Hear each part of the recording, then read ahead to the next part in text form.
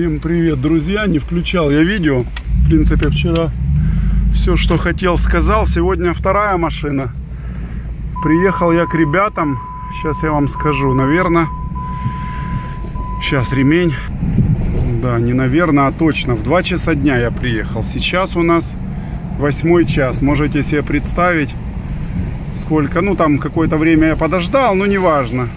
Грубо пусть даже в 3 начиная с трех часов, но мы там заправляться ездили, еще что-то. Ну, в общем, зато она едет теперь. Это просто самолет.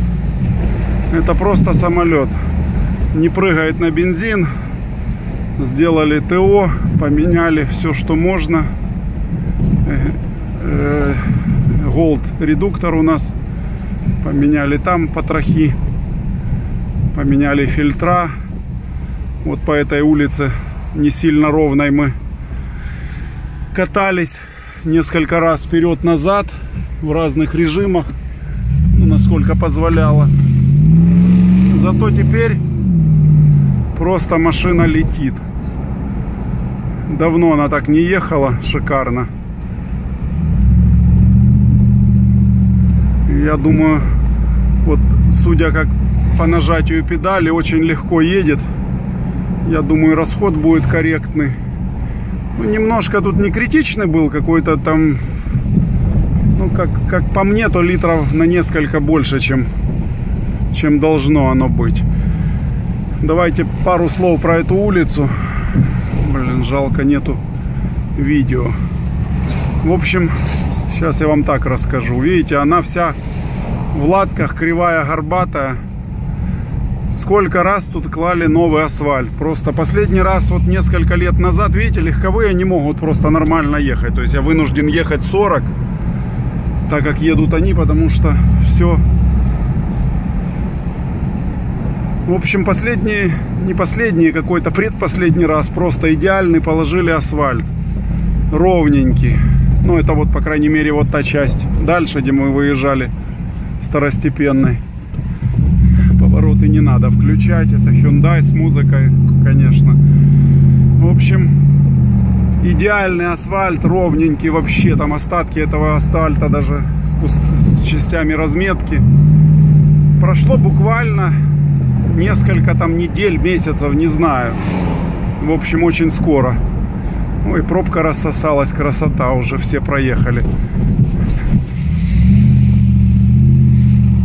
И все, и тут же его сорвали, этот асфальт, и начали под ним трубы прокладывать, как в анекдоте, в общем, по классике. Народная примета, если кладут новый асфальт, у нас возле дома тоже так было, значит скоро под ним трубы начнут прокладывать. Не, пробка чуть-чуть есть, но это не сильно, она там начинается далеко от этого места. Ну, что сказать. Ну, красавцы, да, ну, цены адекватные, то есть цена средняя статистическая, стандартная по Киеву. Есть дороже, есть, ну, дешевле там может совсем непонятно, кто там что делает. Спросил я Максу на Land Rover, тоже ему надо будет, он там второе поколение, точнее, какое-то там второе или первое поколение он установил сам, хотя, как Богдан мне рассказал, это вообще все, что, все, что называют вторым, это первое на самом деле. Э, глубоко человек в материале, ничего не скажешь. Просто красавчик вы понимаете, ключевое, давайте вот для тех, кто живет в Киеве, э, кто хочет отрегулировать газ, правильно поставить, это вот всем будет интересно.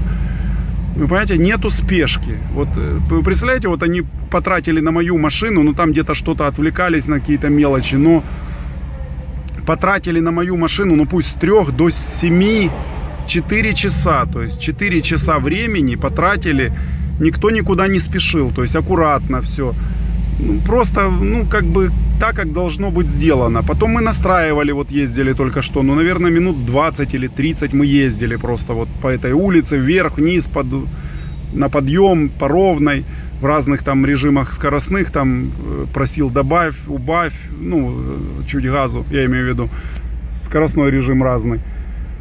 Ну, все, есть результат, ну, работает четко, вот сейчас вообще идеально.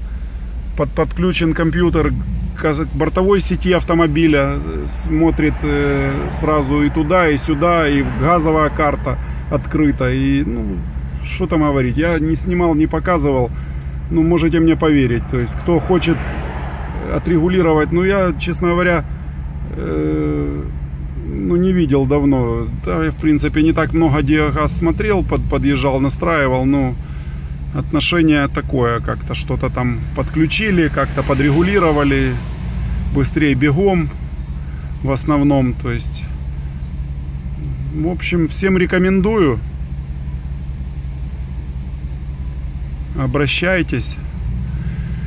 Будете, я думаю, довольны. Опыт большой, 15 лет занимается. Говорит, мы с, мы с поколения с первого начинали еще. То есть то, что вторым все называют, это первое на самом деле. Это карбюраторные автомобили. Второе там уже что-то чуть-чуть там, где есть какая-то лямда, какой-то минимальная, минимальная какой-то диагностика в смысле выхлопа. Это уже второе. Потом третье, это там, где монов прыск. В общем, рассказал мне целую ликбез по, по всем этим. Смотрите, как отзывается сейчас. Видели, как прыгает? Ну, мы сейчас я остановлю запись и выйдем сейчас мы на прямичок и я вам покажу как едет. А там камеры на Дардицком мосту. Ну где-то сейчас до моста кусочек. Машина на меня оформлена. А вот смотрите здесь прямичок. Сейчас мы отпустим что там едет впереди Volkswagen в общем не, негде здесь показать сейчас покажу позже Давайте, пока выезжаем, расскажу. И знаете, что еще понравилось? Нету вот какого-то, знаете, желания что-то впарить, что-то напарить, что-то там переделать, чтобы заработать денег. То есть, ну, в двух словах расскажу. Трубка шестерка стоит. На 5,7 шестерку, ну, по-нормальному, ну, неправильно ставить вообще. Диаметр 6 миллиметров. Ну, вот мы едем. Вот она едет. Это Хэми. Это ракета. Сейчас.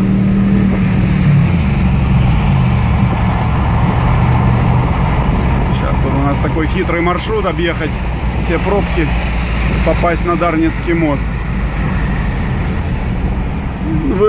Закончу мысль. В общем, нету вот шестерка стоит трубка.